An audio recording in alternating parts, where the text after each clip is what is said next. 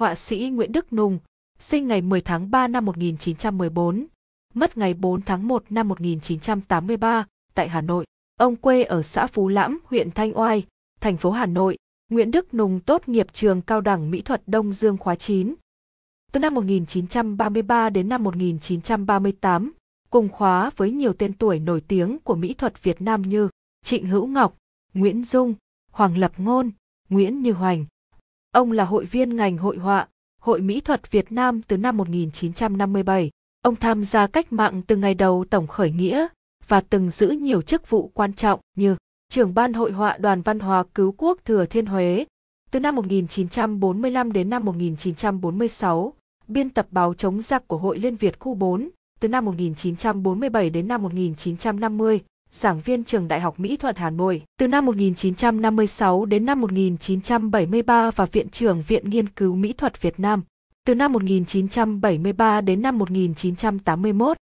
Nguyễn Đức Nùng là họa sĩ có nhiều đóng góp cho sự nghiệp nghiên cứu mỹ thuật Việt Nam. Ông sáng tác trên nhiều chất liệu, nhưng tiêu biểu là tranh sơn mài với kỹ thuật truyền thống. Ông cũng là thế hệ họa sĩ đầu tiên tạo nên trào lưu vẽ tranh sơn mài khổ lớn theo phong cách hiện thực xã hội chủ nghĩa. Các tác phẩm sơn mài của ông chủ yếu là đề tài cách mạng, kháng chiến và sản xuất, theo phong cách hiện thực với nhiều tìm tòi, thể nghiệm, sáng tạo, mang tính khái quát và có giá trị nghệ thuật cao.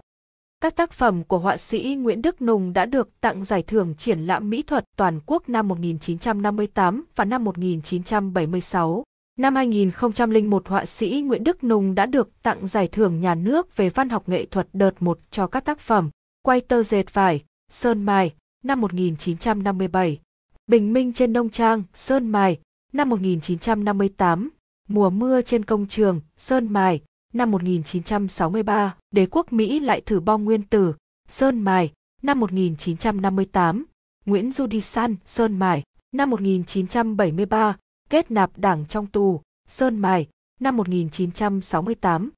Trong đó, tác phẩm nổi bật nhất của ông Bình Minh trên nông trang đã được trang trọng giới thiệu tại cuộc trưng bày về nghệ thuật Đông Nam Á của Bảo tàng Nghệ thuật Quốc gia Singapore vào ngày 23 tháng 11 năm 2015. Tác phẩm được đặt tại phòng số 5 của phần trưng bày về nghệ thuật Đông Nam Á và là phần lớn nhất có tên giữa tuyên ngôn và mơ ước. Nghệ thuật Đông Nam Á từ thế kỷ 19 đến ngày nay.